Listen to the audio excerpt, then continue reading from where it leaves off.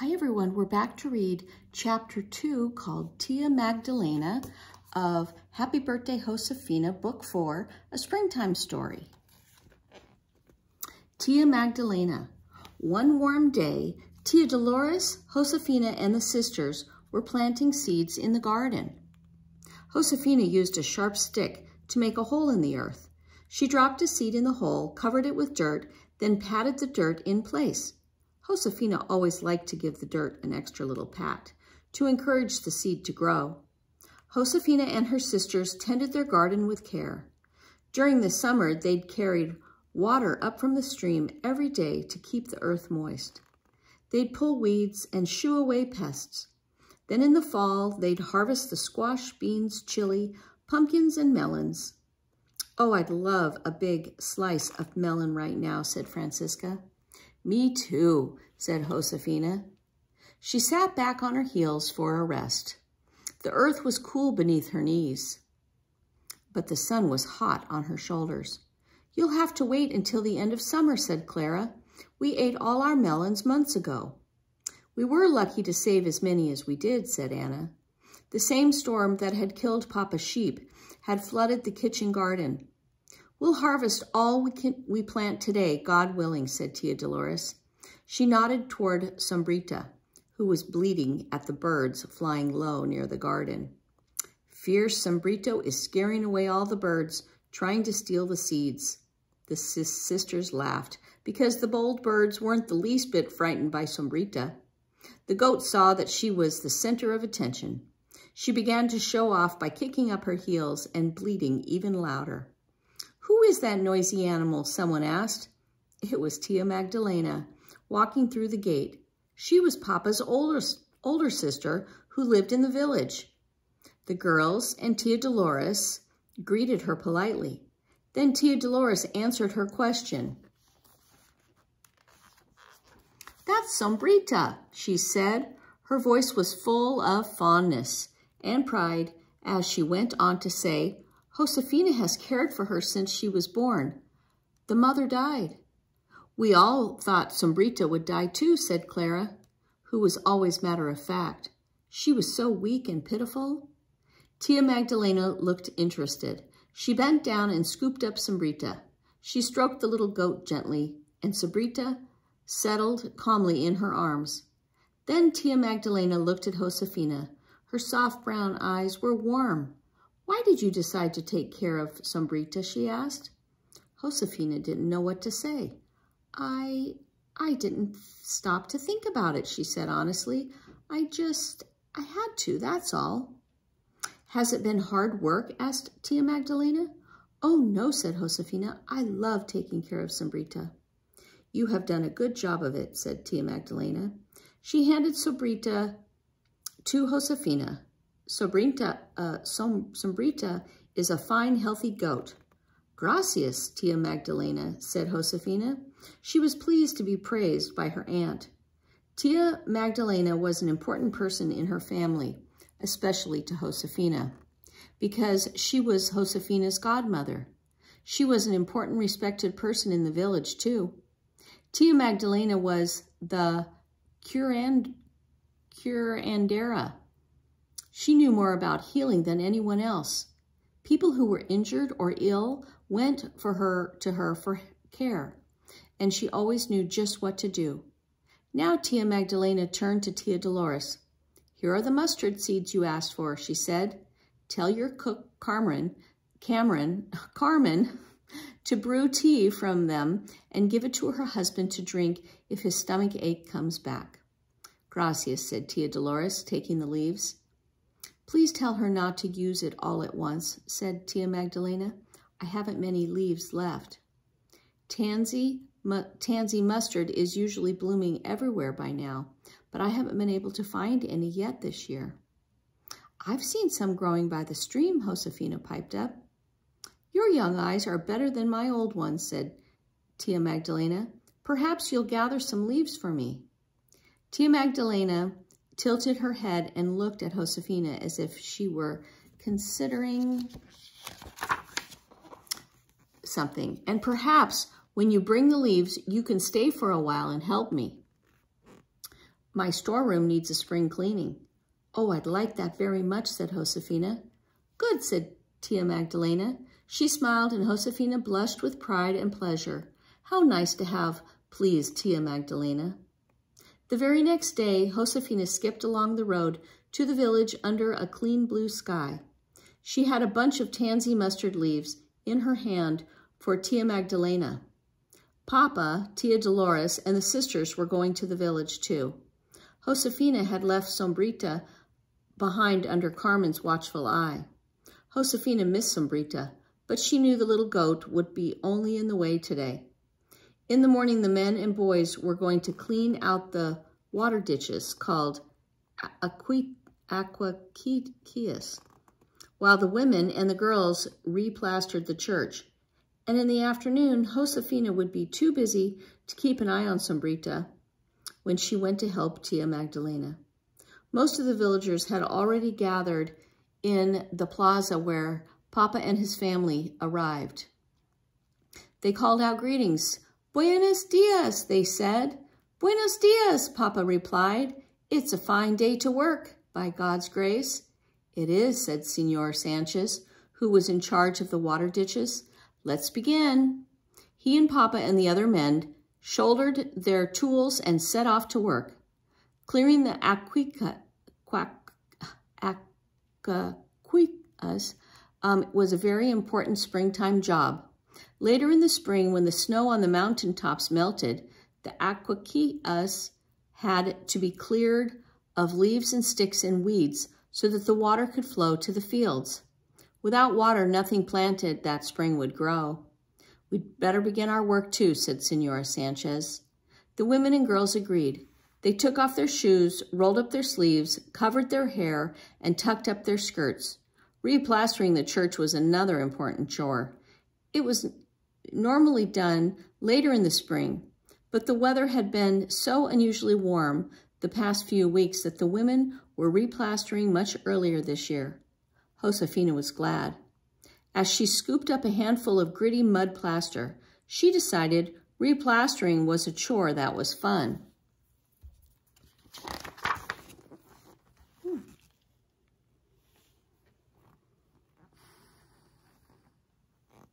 Watch out, Josefina shouted at Clara, who stood between her and the church.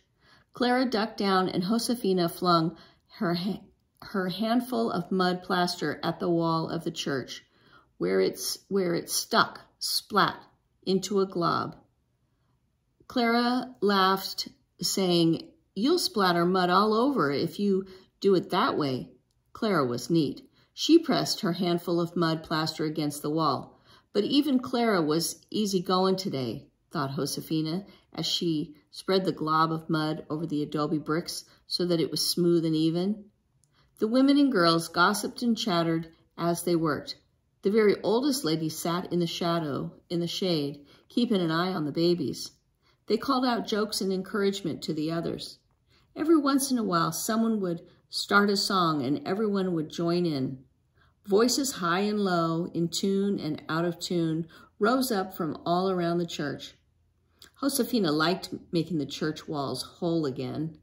Later, she and some other children climbed up into the onto the roof and spread a new layer of mud plaster on it as well. Josefina loved the feeling of the mud oozing between her bare toes it was exhilarating to be up high, closer to the huge white clouds and the brilliant blue sky. Josefina and the others shrieked with joy as they slipped and slid on the slick mud to tramp it flat. Josefina, Clara called out. She was standing below the ground, looking up, shading her eyes with her hand. Tuck your skirt up higher in the back or you'll get mud on it and look messy at Tia Magdalena's this afternoon. And pull up your Pull up your rebozo so that it shades your face, Francisca added. Your nose is getting as red as a tomato. Josefina looked down at tidy, sensible Clara and beautiful Francisca, who was busy about her skin,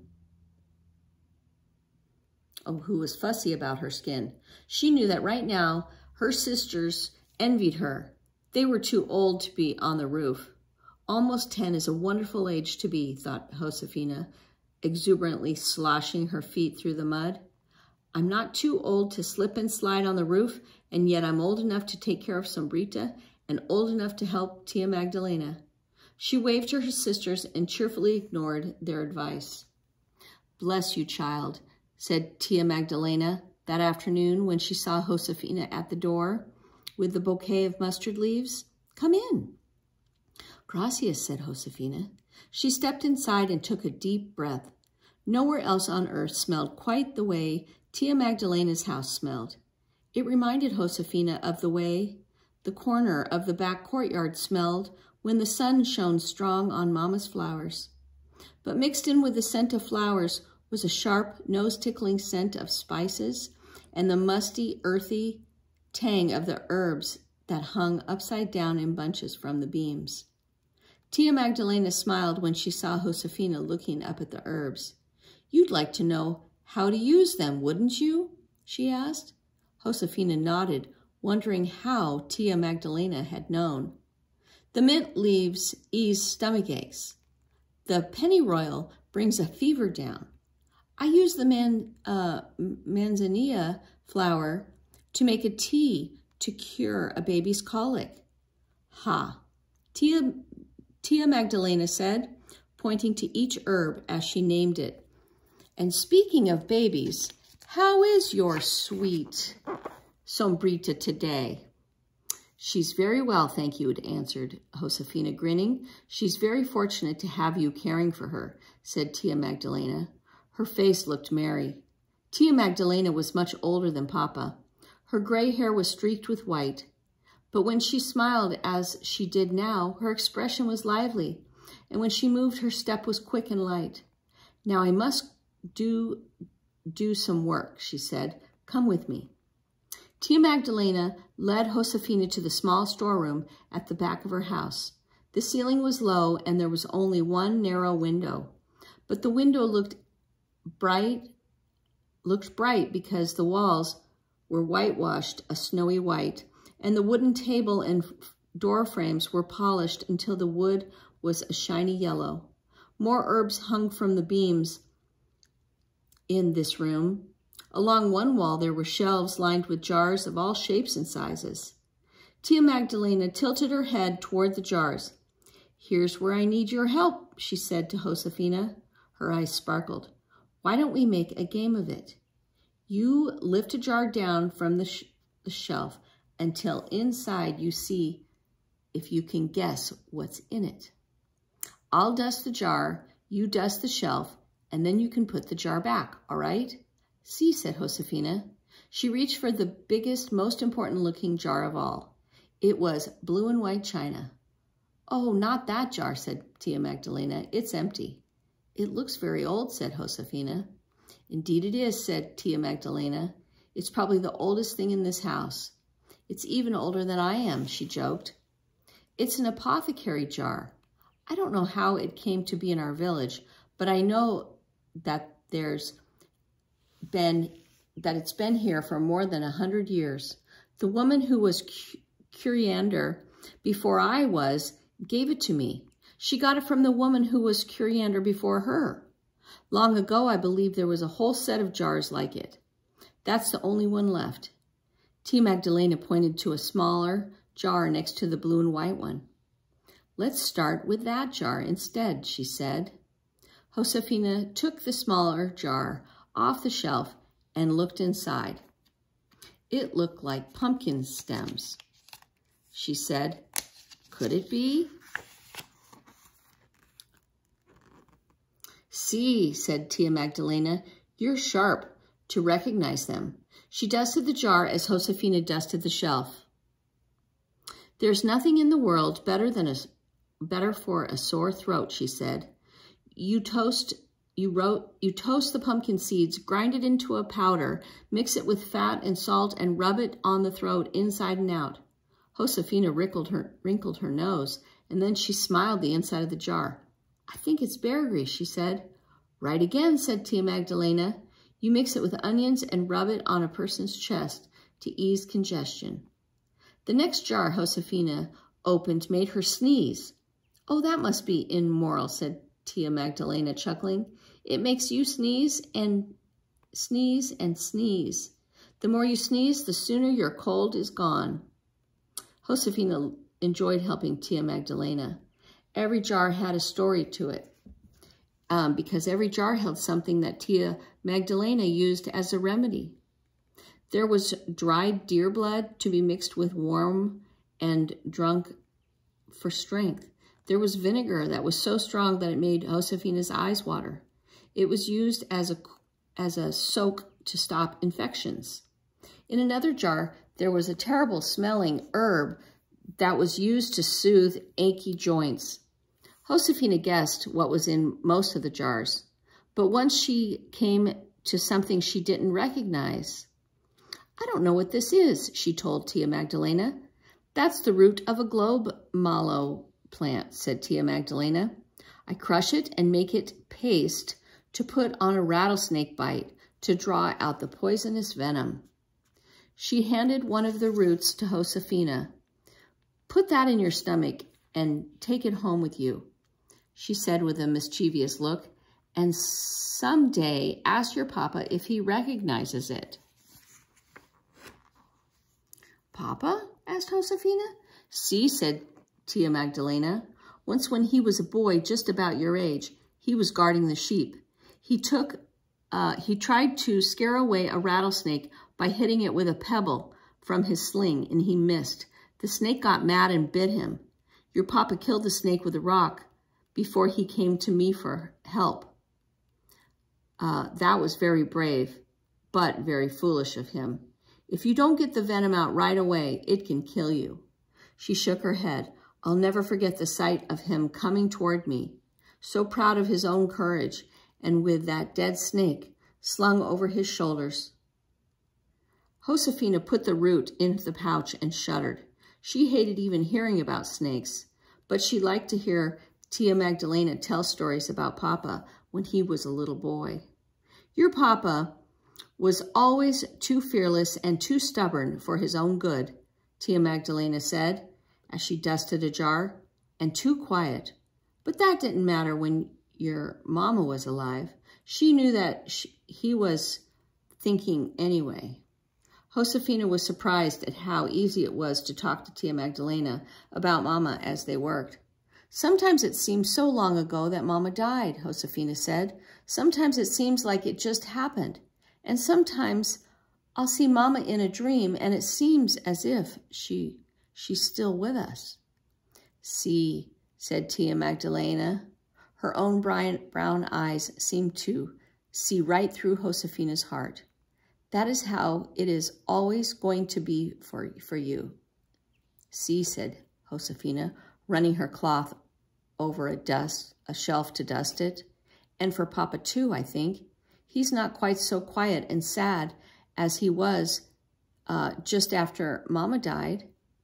It had been a, it has been better for us all since Tia Dolores came. We needed her. Well, said Tia Magdalena, handing a jar to Josefina, perhaps she needed you too. Josefina wondered what Tia Magdalena meant. But just then, Tia Magdalena said, I think it's time for a cup of tea, don't you? And so Josefina didn't have a chance to ask.